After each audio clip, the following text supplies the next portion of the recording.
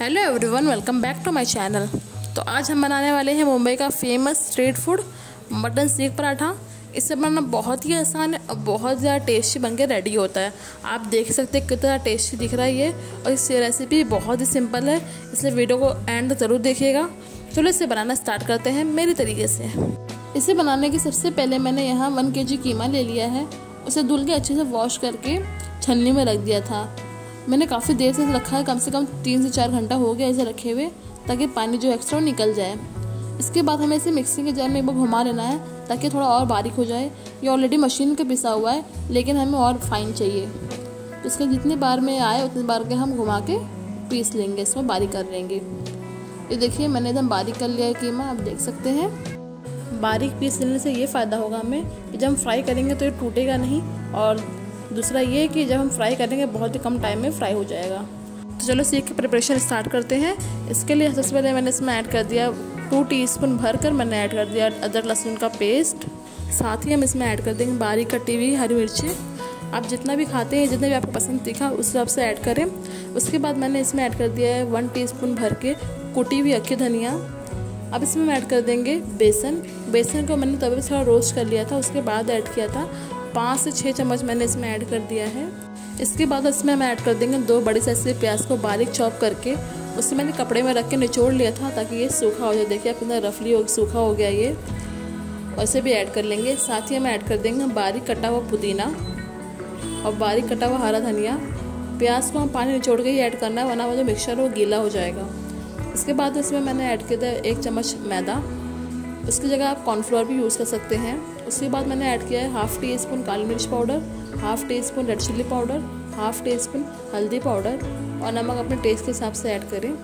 साथ ही इसके बाद मैंने ऐड कर दिया वन टीस्पून भर के गर्म मसाला और एक नींबू का रस शामिल कर लेंगे। सिर्फ़ नींबू का रस ही लिक्विड ऐड मिल जाएगा। इसके अलावा पानी बिल्कुल भी इसमें ऐड नहीं करना है, वरना ये कबाब फ्राई करते हुए टूट जाएँगे। अब इन सब कुछ मिक्स कर लेते हैं।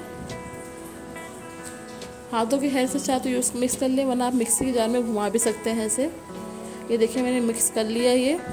देखिए कितने अच्छे से मिक्स हो चुका है ये। सारे इंग्रेडिएंट आपस में अच्छे से मिल चुके हैं। अब इसे हम कुछ देर सेट होने के लिए फ्रिज में रख देंगे एटलीस्ट हाफ़ एन आवर तब तक हम यहाँ पराठे की प्रिपरेशन स्टार्ट करते हैं। पराठे बनाने के सबसे पहले मैंने यहाँ एक कप गेहूँ का आटा ले लिया और एक कप मैदा ले लिया है। दोनों हम इक्वल क्वांटिटी में लेंगे। हम यहाँ हेल्दी में बना रहे हैं, इसलिए मैंने गेहूँ का आटा भी इस्तेमाल किया है। बाहर से मैदे का ही बनता है। दोनों को पहले मिक्स कर लेते हैं। अब इसमें मैंने ऐड कर दिया है वन टीस्पून नमक और वन टेबल स्पून ऑयल अब इन सबको अच्छे से मिक्स कर लेंगे। और जैसे हम नॉर्मल आटा गूंदते हैं, उसी तरह हम इसे भी गूंद के रेडी कर लेंगे। देखिए, गूंद के रेडी हो गया है। अब इसमें हम ऑयल लगा के अच्छे से चारों तरफ़ लगा के इसे कुछ देर सेट होने के छोड़ देंगे। सीख बनाने वाली जो सलिया होती है, सबके नॉर्मल घर में अवेलेबल नहीं होता है।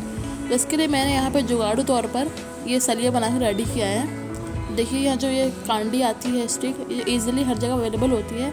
हमारे घर में भी वो सी है, क्योंकि हम इसे बनाते ही कुछ ना कुछ। तो इसे मैंने फॉल पेपर में रैप कर दिया। आप देख सकते हैं थोड़ा सा दिखा दिख भी रहा है ये। पाँच से छः मैंने कांडी को फॉल पेपर में रैप कर दिया है और ये हमारा जुगाड़ू सा सलिया रेडी है। काम चलाओ। इसी में हम सीख बना कर रेडी करेंगे। ये देखिए, मैंने मिक्सर को बाहर निकाल लिया है। और सबसे पहले हम हाथों को और ये जो हमारी ये स्टिक्स है, उसके भी ऑयल से ग्रीस कर लेंगे। ऐसे से ग्रीस कर लेना ऑयल से। और थोड़ा सा पोषण मिक्सचर का लेके हमें पहले हाथों से गोल कर लेना है और उसे सीख का शेप दे देना है। थोड़ा ही लेंगे हम, क्योंकि हमारी स्टिक छोटी है। इस, ये इस तरह कांडी की जगह आप पेंसिल का इस्तेमाल भी कर सकते हैं। या फिर कोई चाइनीज़ स्टिक आती है नूडल्स खाने वाली, वो भी आप इस्तेमाल कर सकते हैं। देखिए, हाथों के हल्से से दबा दबा के पतला कर लेना है। देखिए क्वांटिटी ज़्यादा थी, इसलिए मैंने कम कर लिया था क्वांटिटी इसकी और देखिए, कितना पतला सा सीख रेडी हो गया हमारा। ज़्यादा मोटा नहीं करना है, वरना जो फ्राई करते टाइम अंदर से कच्चा ही रह जाएगा। ये देखिए परफेक्ट है। इसी तरह हमें बना के सारे रेडी कर लेना है। सेकंड में मैं आपको दिखाती हूँ बनाकर। देखिए, थोड़ा सा ही पोर्शन मैंने लिया है, आप देख सकते हैं। अगर आपकी कांडी लंबी है, थोड़ा बड़ा भी आप कर सकते हैं। पहले हम इसे हाथों से ही सीख का शेप दे देंगे, फिर जो स्टिक है हमारी, उसे हम इसके अंदर एंटर कर देंगे। ये देखिए, हमारा सेकंड शेप सीख भी रेडी हो गया है। इसी तरह हम सारे बना के रेडी कर लेंगे। देखिए थर्ड भी बन के रेडी हो चुका है। अब यहाँ मैंने एक गैस पे फ्राई पैन रख दिया है, गर्म होने के लिए, और उसमें ऐड कर दिया है वन टेबल स्पून ऑयल हमें कम ही इस्तेमाल करना है। जब ऑयल अच्छे से गर्म हो गया, आप देख सकते हैं धुआँ निकल रहा है। तब मैंने गैस का फ्लेम मीडियम करके इसे ऐड करेंगे हम धीरे धीरे ये देखिए, एक मैंने कांडी ही बना के रेडी किया है। इसमें भी देखो कितना अच्छा बन के परफेक्ट रेडी हुआ है। आप चाहे तो इस तरह ही बना सकते हैं। और देखिए इजीली थोड़ा थोड़ा सिले सिले हाथों से निकालना है, ताकि टूटे ना। देखिए कितनी आसानी से निकल के आप देख सकते हैं। ऐसे हम सारे निकाल लेंगे और फ्राई करने में फ्राई पैन में डाल देंगे।